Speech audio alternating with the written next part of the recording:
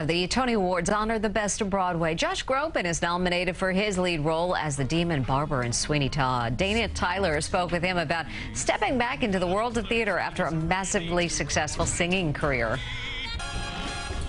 It's an extraordinary feeling, wanting to be part of the, the theatrical community for my entire life, to feel that embracing and to feel like people got what we were doing and, and welcomed me at the Tonys, highlighting performers and shows nominated for Broadway's top honors. You can see it tonight at 7 p.m. here on CBS 2.